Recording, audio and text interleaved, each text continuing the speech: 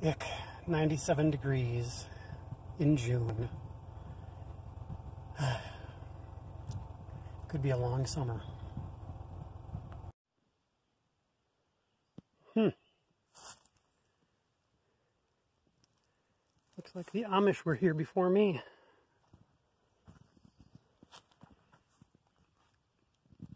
Tied their horses to the trees and they proceeded to stomp a donut around the trees. Pit. Yep, and another hitching post. Hoof depression.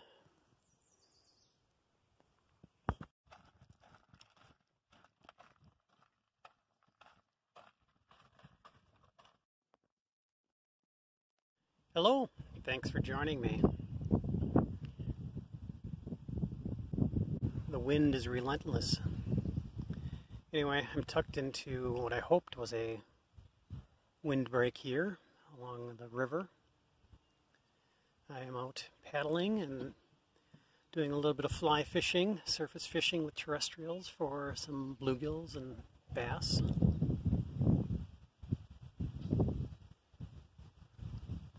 This is a has some kettles, some glacial kettles along the lake, and they're pretty deep and cold and spring fed. And there are some trout deep down, but they pretty much are caught at night. Not so much at high noon here. Or now, 3 o'clock, because I've been out here for three hours. Anyway, caught a few fish. Was going to have a shore lunch, but decided I'd eat my sandwich and grapes and save the fish for supper. So have some sup some fish tonight. Anyway, I hope this wind isn't too bad. Every time I find a calm location, it switches around and starts to blow pretty bad. Anyway, I am smoking a Country Gentleman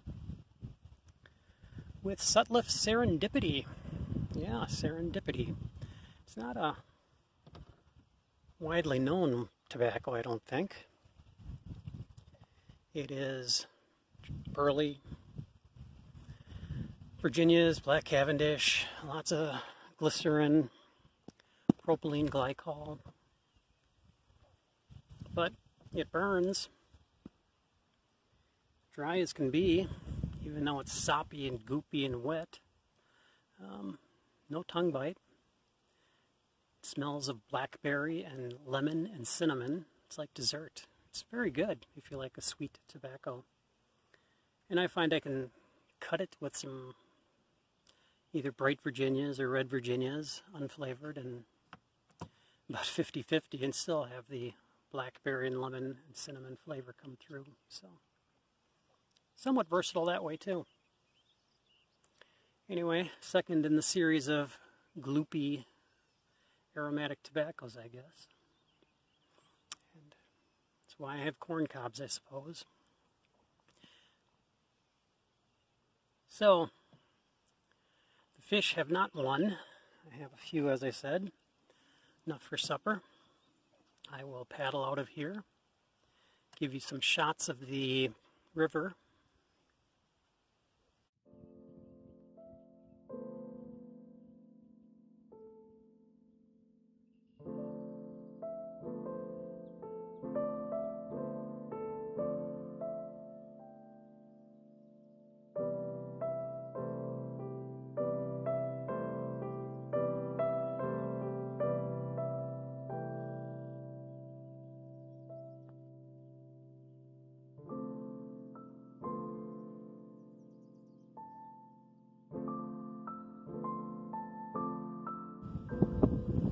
popping for some panfish earlier, and I'm intent on panfish now down to a 30 inch bass watching me, so they're in here.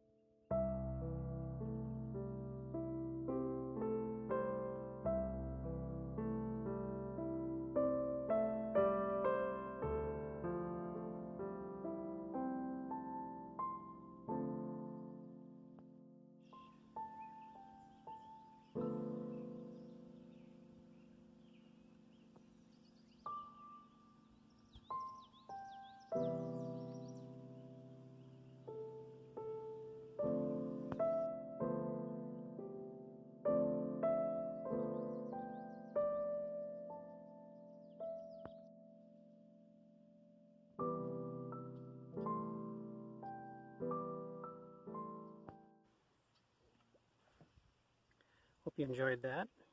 Um, it's a nice stretch.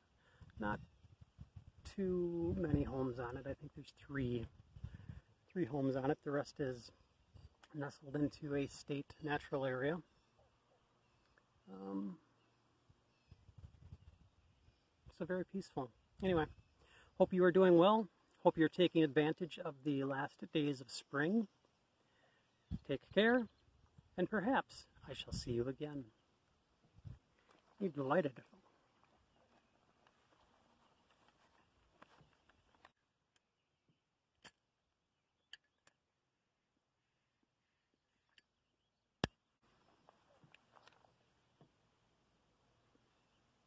Ah, yes.